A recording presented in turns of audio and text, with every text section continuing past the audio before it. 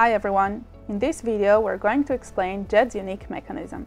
To start with, Djed is an over-collateralized stablecoin that is backed by ADA, which is an independent asset with its own utility and uses Shen as its reserve coin. Shen guarantees the collateralization rate of the protocol in order to ensure there's enough ADA in the pool, even in cases where ADA's value fluctuates. Djed is over-collateralized by 400 to 800% and it has a unique mechanism that guarantees its over-collateralization. Now let's see how it works. In order to explain the mechanism in a simple and easy to understand way, let's say that ADA's value is $1 and Shen's value is also $1. Djed's value is $1. The calculations in this video do not include fees and they are not demonstrated in the given examples. Later on in this video, we will share examples with different figures. Djed has a reserve pool of ADA. At the moment, the pool is empty. Alex decides to mint 5 Shen. In order to do so, he sends 5 ADA to the reserve pool. Now that there is ADA in the reserve pool, we can start minting Djed. David wants to mint 1 Djed, so he sends 1 ADA to the reserve pool.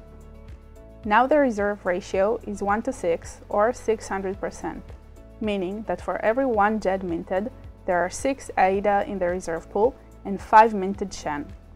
At this point, we can mint and burn Djed and Shen as long as we keep a healthy ratio. Alex decides to mint one more Shen by adding one more ADA to the pool. Now the ratio is 1 to 7 or 700%. This means that we can still mint and burn both Djed and Shen. David mints one more Djed, which brings one more ADA to the reserve pool.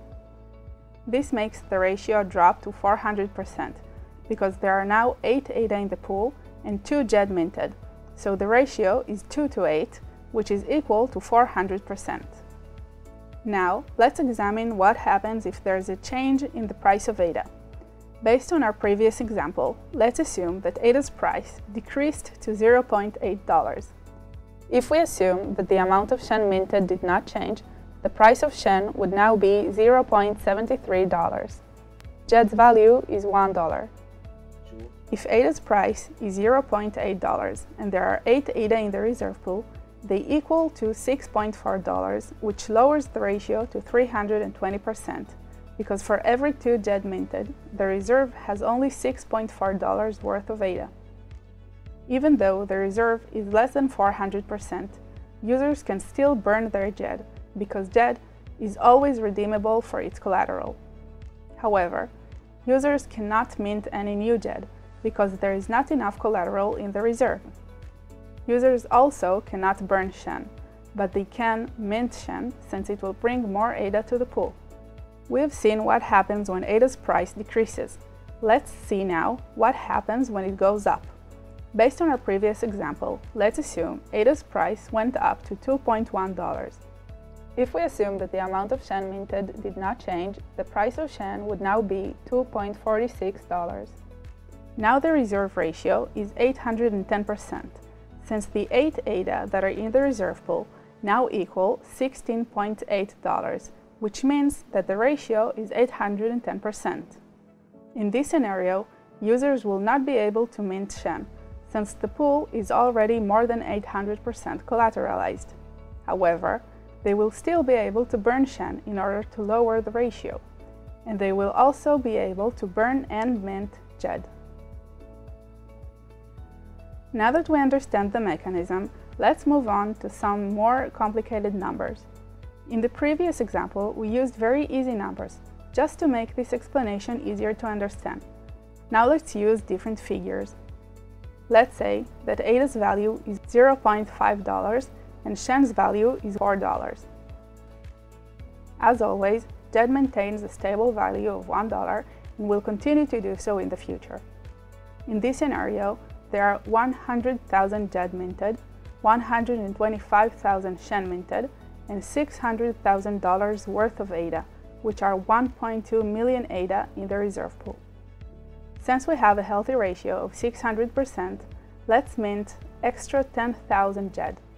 This makes it a total of 110,000 Djed minted.